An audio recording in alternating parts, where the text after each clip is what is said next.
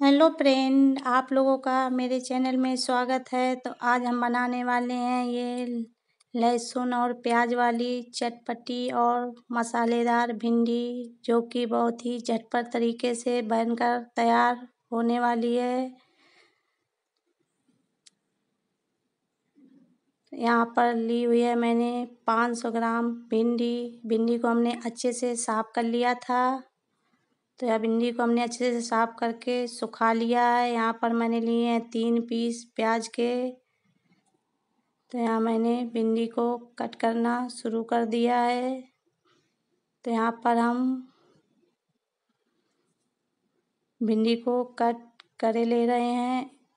यहाँ मुझे बहुत बारीक भिंडी नहीं काटनी है। मीडियम साइज़ में कट करना है मुझे।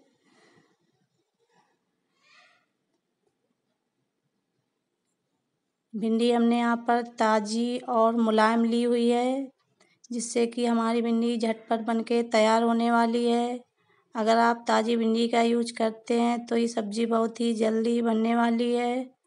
तो यहाँ मैंने भिंडी को कट कर लिया है और इसके बाद मैंने यहाँ पर प्याज को भी कट कर लिया है। प्याज मुझे इस तरह कट करना है, ऊपर से बड़े आकार में निकालना है और इसके बाद जो नीचे का भाग बचता है, उसको मुझे बारीक कट कर लेना है।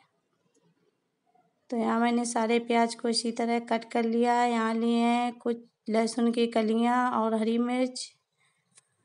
इसके बाद मैंने यहाँ पर कढ़ाई गर्म होने के लिए रख दी है। इसके बाद डाल दिया इसमें सरसों का तेल। तेल को हम अच्छे से गर्म हो जाने देंगे। गर्म होने के बाद इसमें मैंने हाथों से मसल के डाल दिया अजवाइन। थोड़ी सी हींग सारी चीज़ों को हमने पका लिया इसके बाद मैंने डाल दिया इसमें लहसुन।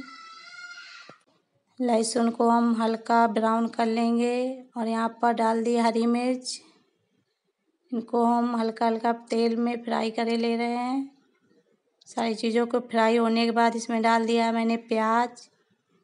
प्याज को मैंने एक साथ ही डाल दिया है। तो प्याज को हम कच्चापन दूर हो जाए, इतना पकाएँगे। तो यहाँ मैंने प्याज को पका लिया, इसके बाद डाल दिए भिंडी। भिंडी को हम प्याज में मिला दे रहे हैं। यहाँ मुझे गैस का फ्लेम धीमा रखना है।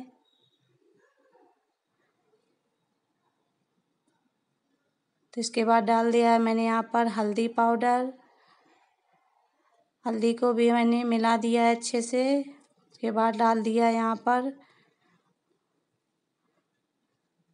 भुने हुए जीरे का पाउडर, एक चम्मच धनिया पाउडर, आधी चम्मच लाल मिर्च। इसको भी हम अच्छे से मिला दे रहे हैं। यहाँ पर डाल दिया है आधा चम्मच काली मिर्च पाउडर। इसके बाद डाल देंगे नमक। नमक डालने के बाद हम इसको टमाटर कट किए हुए थे हमने बड़े आकार में तो इसको भी हमने डाल दिया है।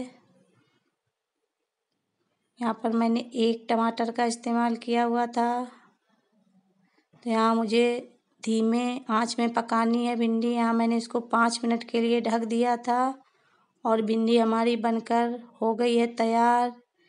ये सब्ज़ी बहुत ही झटपट तरीके से और बहुत ही टेस्टी बनके तैयार होती है। आप इसको दाल के साथ, पराठा के साथ लंच बॉक्स में बना सकते हैं।